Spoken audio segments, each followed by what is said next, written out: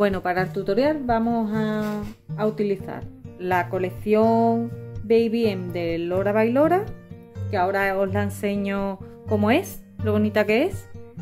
Eh, vamos a utilizar un trozo de velu que mida aproximadamente 15 centímetros por 21 centímetros, aunque lo, que vamos a utilizar es, menos, pero bueno, con esta medida tenemos bastante.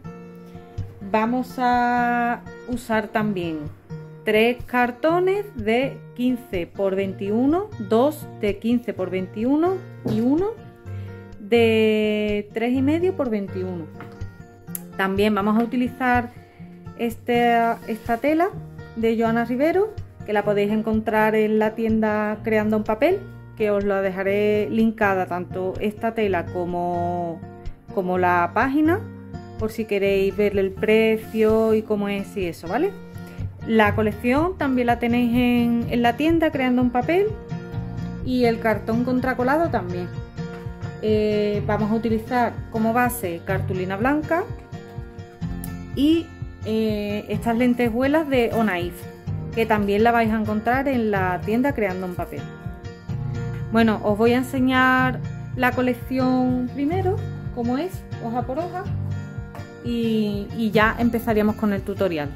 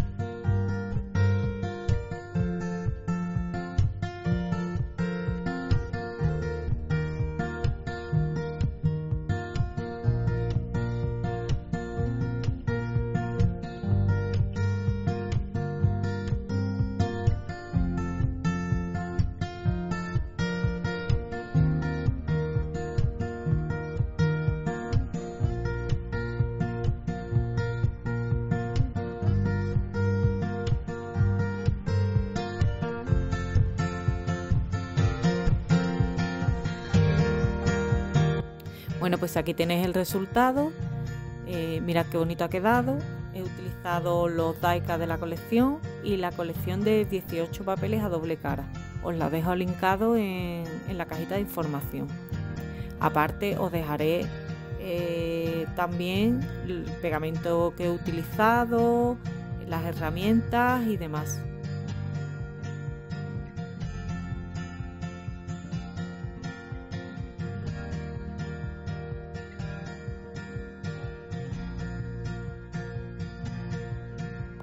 Como veis es un álbum bastante sencillo, es muy sencillo de hacer, no le he puesto muchas cosillas porque las hojas son bastante bonitas y, la verdad es que así tenemos más espacio para poner fotos.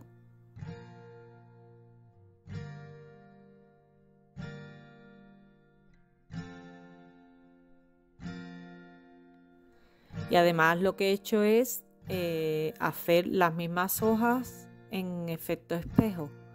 O sea, la segunda y la tercera son iguales, pero mirándose. La tercera y la cuarta igual. Y he ido combinando una hoja con la otra. Para los cierres he utilizado los Daika y le he dado un poco de volumen para, para liarlo con, con el cordoncito que le he puesto.